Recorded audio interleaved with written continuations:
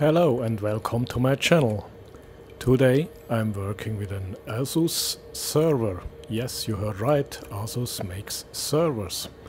And this one uh, is a special server, it has a lot of GPUs and it was built by AIME, a company in Berlin that is specialized for AI and high performance computing servers. I bet you have never seen 32 display ports on one computer.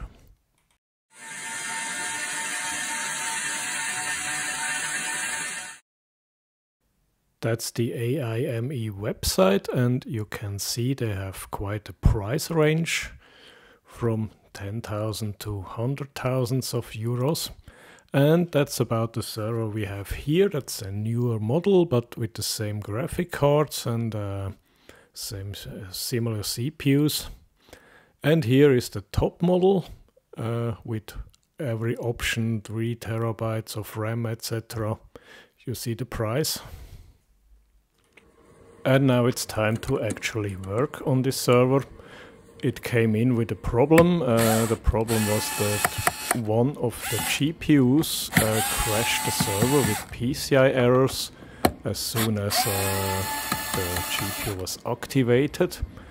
So um, I'm doing some routine maintenance here. Um, first I'm cleaning the CPU itself and the CPU socket because PCI lanes are connected directly to the CPU chip and if one of these pins here has a contact problem that may cause this uh, this issue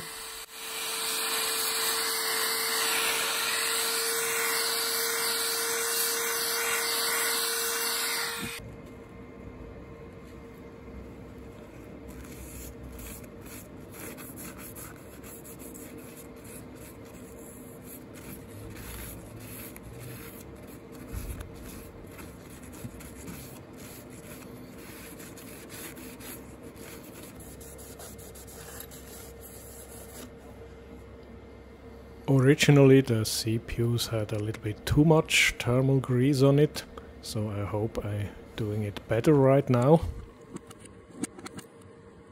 I also had to remove the entire PCI backplane here because someone has nicked off uh, one of the capacitors eventually by installing the, the graphics cards in, in the first time.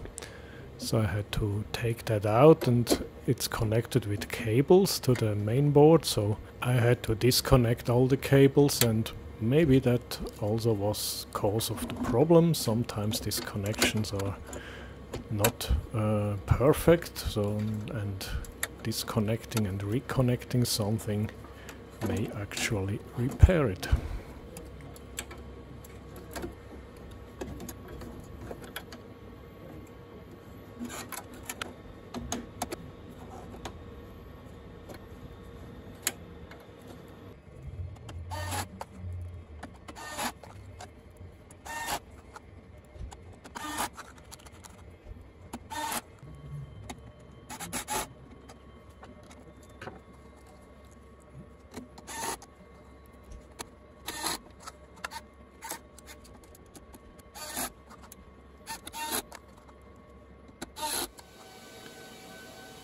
You can see here the startup and also the BIOS screen look pretty normal like any other ASUS mainboard from a PC.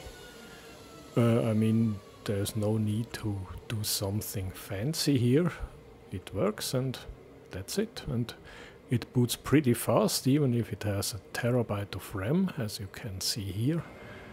And here we have the Windows uh, Device Manager. We see 8 NVIDIA graphic cards.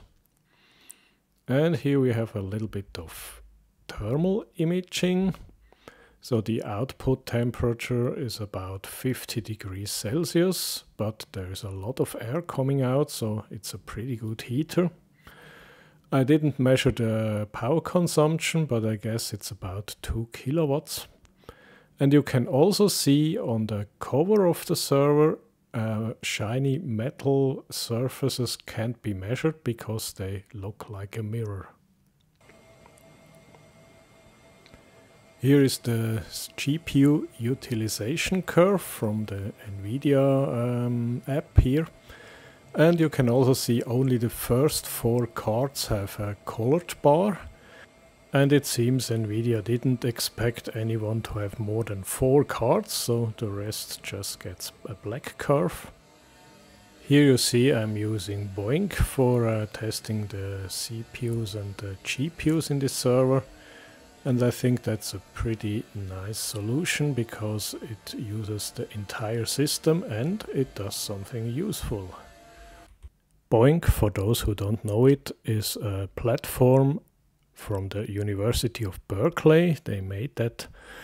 And uh, it combines a lot of scientific projects that are distributed to computers all over the network. So you can participate there by your own. There are a, a ton of different uh, projects you can choose from scientific project, mathematics, uh, universe, and the whole thing started as SETI, Search for Extraterrestrial Intelligence, and that was later than one of the projects from BOINC, and SETI was mainly from the Arecibo Radio Telescope. Here you can see a picture from better days. As you probably know, this thing has collapsed and is no more. So, uh, but there are other projects. For example, we have a nice one here in Switzerland from CERN, the LHC, the Large Hadron Collider. They produce a lot of data every day, and they also need your help to uh, calculate everything and that's a graph here about how much data they produce every month. And on the graph here is only the data they store on magnetic tape for uh, archiving. So the daily output is much higher. So they produce terabytes or petabytes per second with every experiment. And well, of course, they need a little bit more computer power so you can help them to achieve their goals.